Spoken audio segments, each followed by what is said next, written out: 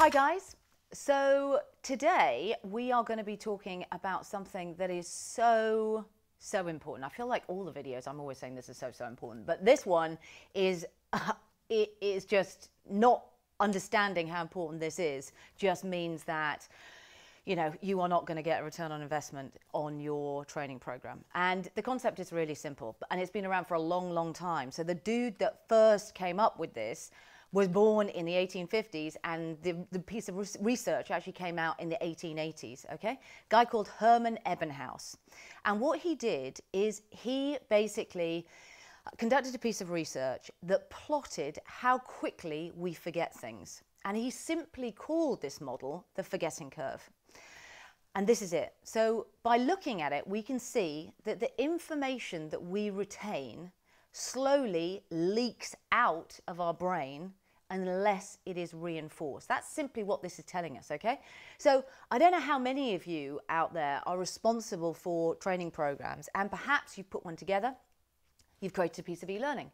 You've pushed that piece of e-learning through your LMS to all your people around the world and what's happened is you have got zero change in behavior. Okay, that is because of this interesting piece of research, the forgetting curve.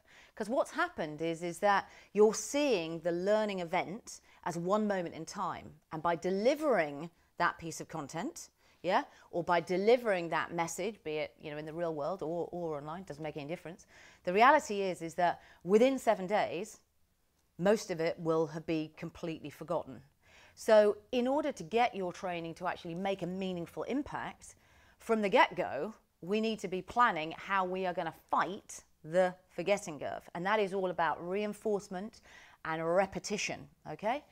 So there's a lots of stuff that I've talked about in the, in, in the videos um, about how we get people engaged over a period in order to actually change behavior.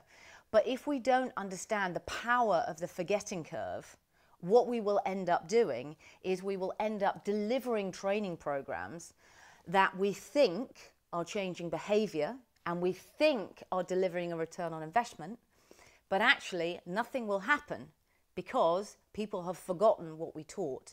So what we must do is we must little and often repeat yeah, and follow up on that training in order to deliver that all important return on investment.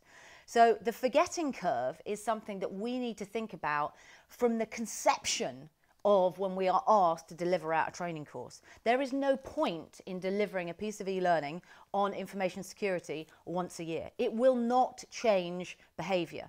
The only thing that will change behavior yeah, and make an impact in the real world is repeated little and often reminders. And why? Because of this cheeky little fella, the forgetting curve. So let's keep coming back to the idea that first and foremost, let's not forget the forgetting curve. And then let's start planning our learning, uh, our learning programs. Okay, I hope that was useful.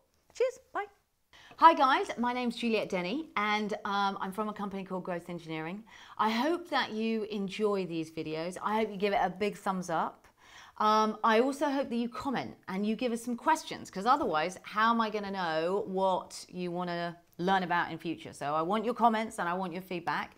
And then most importantly, it would be really great if you could subscribe to the channel and then when I'm delivering out new content and hopefully I'm asking, uh, answering questions that you guys have asked me, you'll know when I post another video. So thank you very much. And thank you for being part of my learning tribe.